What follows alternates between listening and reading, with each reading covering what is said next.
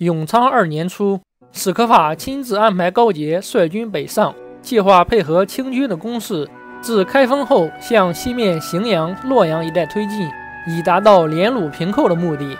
高杰出兵时，曾向豪格写信，信中有“关东大兵能复我神州，葬我先帝，学我深院，救我黎民”等语。正月初十，高杰同河南巡抚岳其杰、巡按陈潜夫带领军队来到睢州。镇守该地的河南总兵许令国已经同清方秘密勾结，他一面出城拜见高杰，一面进行暗中策划。十二日，许令国在睢州城内大摆宴席，高杰只带了三百亲兵进城赴宴。许令国事先埋伏军队，把高杰和随行兵卒全部杀害。第二天，高杰部众得知主将遇害，愤恨不已，立即攻入睢州，对居民大肆屠杀，进行报复。许定国则率部过河投降清朝。高杰一死，南明的进军计划自然泡汤。但军中无主，部下兵马乱作一团。黄德功又想趁机瓜分高杰部的兵马和地盘，双方剑拔弩张。史可法亲自赶往高杰军中做善后工作，立高杰的儿子为兴平世子。高杰的妻子邢氏担心儿子幼小不能服众，他知道史可法没有儿子，提出让儿子拜史可法为义父。然而，史可法也许是顾及朝中的舆论，也许是看不上高杰的刘贼出身，拒绝了这项提议，却让高杰的儿子拜太监高启乾为义父。这使得史可法失去了一次掌握兴平藩军队的机会。三月二十三日，左良玉称奉先帝太子密诏前往南京救驾，以讨伐李世英为名，全军乘船顺江东下。四月初一，左良玉兵至九江，邀江都袁继贤到舟中相见。逼袁继贤一同前往南京，清军撤救太子。袁继贤回城后，命部将坚守九江，不准左兵进城。不料部将张世勋已经同左部将领私下勾结，夜间纵火焚城，城中顿时大乱。袁部诸将不能存身，劈门而出，同左军合营。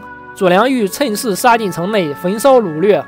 袁继贤无可奈何，只好同左良玉及其麾下诸将约定，严禁烧杀抢掠。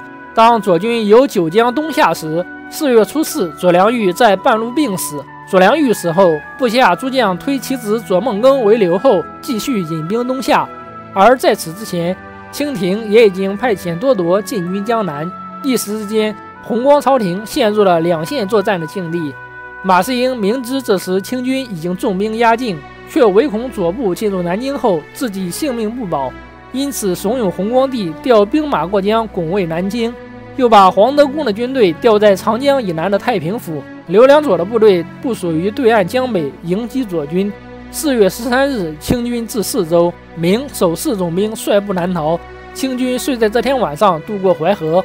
在左良玉部东下，清军南侵的紧急情况下，史可法惊慌失措，胸中漫无主见。十七日，清军近日距离扬州二十里处下营，次日兵临城下。而被寄予厚望的四镇兵马却望风而降。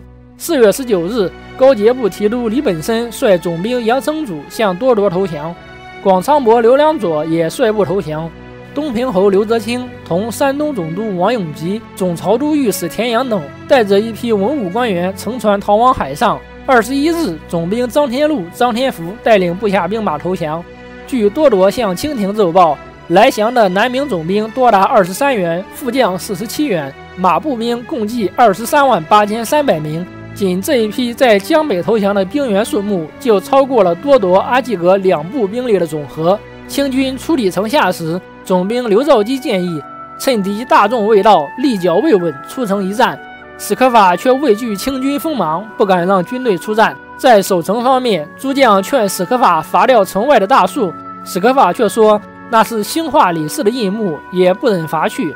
二十二日，城中将领李七凤、高奇凤、胡尚友、韩尚良一道出门降清，史可法也听之任之，不加禁止。总之，整个扬州城就是一副不战不守不降的姿态。史可法已经心灰意冷，对胜利不抱期望，只等着一死报国。二十四日夜间，清军用红衣炮轰塌城墙。二十五日，扬州陷落，刘兆基战死。扬州知府任明玉、何刚等牺牲，史可法殉国，扬州城一日而下。比起江阴县区区典史严应元、陈明玉率领城中百姓奋勇抗清八十三天，相去何止千丈。史可法若泉下有知，不知是否会感到羞愧。清军占领扬州后，多铎以不听招降为由，下令屠城。屠杀从四月二十五日延续到五月初一。扬州居民除少数破城前逃出和个别隐蔽较深的幸存者外，几乎全部遭到屠杀。城中积尸如乱麻，直到五月初二才安官自立。查焚尸部载其数，前后约计八十余万。五月初五，清军进抵长江北岸。初九，多铎命没了张京、李帅泰带领南京降将张天禄、杨承祖于黎明时分，在瓜州以西十五里处乘船渡江，在金山击败防江水师郑鸿逵军，随后登上南岸，占领镇江。后续满汉官兵先后渡江。初时，弘光帝仅同马士英和少数宦官商议以后，连朝廷其他大臣也不告知。更不做任何部署，在凌晨出城而逃。五月十三日，坐拥数万兵卒的左孟庚在九江附近率领部下兵马向清军阿济格部投降。袁继贤不愿降清，被押解到北京处死。五月十五日，多铎率清军主力进至南京城外，新城伯赵之龙、保国公朱国弼同魏国公徐九觉、隆平侯张拱日、大学士王铎、蔡义琛。礼部尚书钱天益、左都御史李瞻等三十名高官显贵大开城门出迎于郊。清军进城搜索警戒后，十七日多铎进入南京，随即把南京城中东北两区汉族居民进行驱出，供清军居住。朱由崧同马士英逃出南京后，原本想前往杭州，不料途经溧水县时，遭到当地士兵的拦截抢掠。混乱之中，马士英的儿子带领永卫营拥簇着弘光帝奔往太平府。太平府官不知道是怎么回事，闭门不纳，又转入芜湖，投靠晋国公黄德公。马士英则以随身兵力护卫皇太后周氏，辗转赴航。多铎进南京后，即命刚刚投降的刘良佐率部充当向导，派多罗贝勒尼堪护军统领图赖、固山额真阿三、固山妹子吞奇、何托等。领兵经太平追至芜湖，黄德公部下将领田雄、马德公决定降清。黄德公不知军心已变，把刘良佐派来的招降使者处斩，引兵出战。叛军趁黄德公不备，暗中一箭射中黄德公喉部，黄德公自刎而死。弘光帝被田雄活捉，献给清方。不久，弘光被俘的消息传至杭州，马士英同杭州的官僚商议，请陆王朱长方监国。这位陆王就是原本钱谦益等想要以立贤为名拥立的贤王，可事实证明，这位贤王一点也不贤。六月初八，朱长方就任监国，次日就按照马士英的意见，派陈弘范以割让江北四郡为条件，同清军讲和。